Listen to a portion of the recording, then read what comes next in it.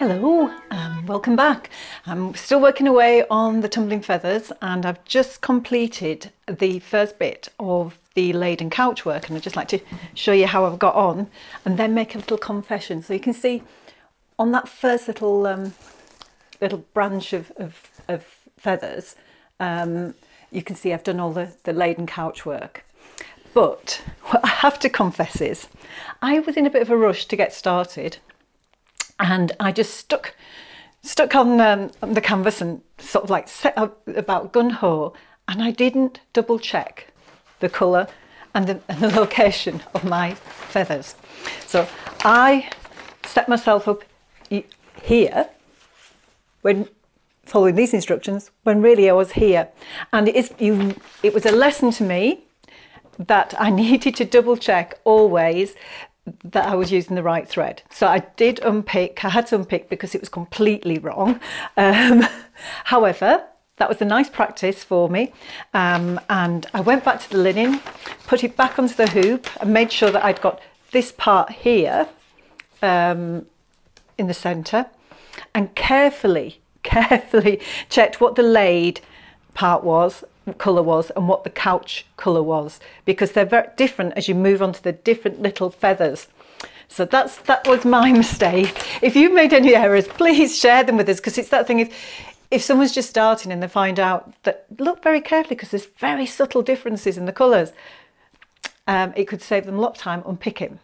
However, I did find Phillipa's video that we watched last week really useful for, for making sure I've got the tension right and everything. And and I've really enjoyed doing the laid and couch work.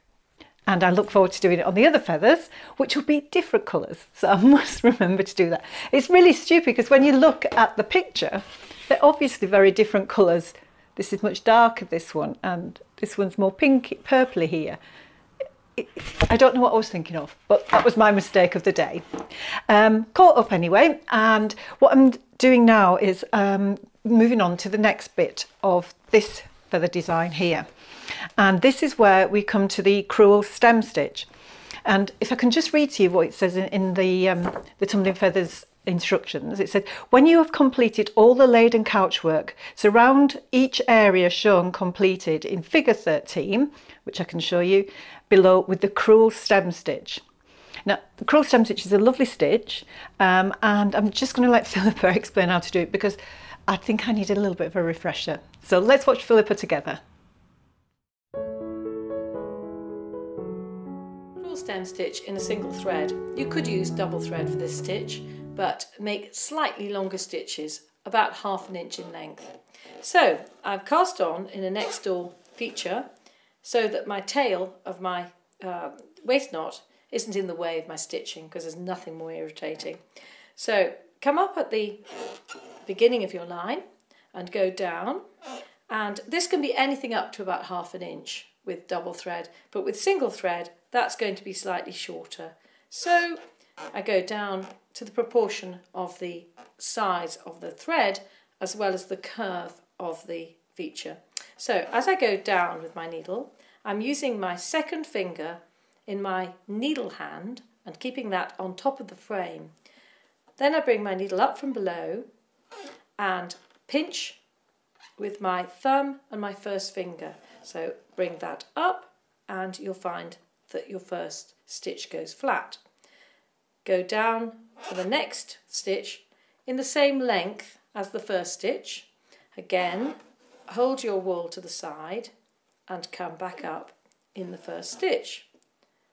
As you go round a shorter corner, then you might want to make your stitches slightly smaller. Now, as you can see, I'm stitching up and down using the same action, rather like a piston, as I do for the long and short stitch. So you don't want to stitch like that all day. So I've developed a technique where I actually turn my hand and tension the wool that way. And I find that works really well, particularly in this stitch.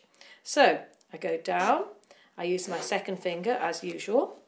Then I come up, I pinch the needle with my thumb and my first finger as usual. But now I'm going to split my hand like that and turn it so that it's actually turning the hand that makes the tension of the stitch. So go down, use your second finger to hold the loop away, come back at the end of the previous stitch, pinch, split, turn.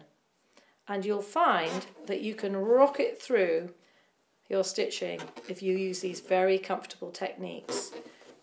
So down, back up at the end of the last stitch, pinch, split, turn. And I'm going to race down this side doing this technique. Well, I found that video really useful, so I'm going to um, cast on now and I'm going to do some of the crewel stem stitch and then if we come back tomorrow and have a look how we got on and what we've got to do next. So speak to you tomorrow. Bye.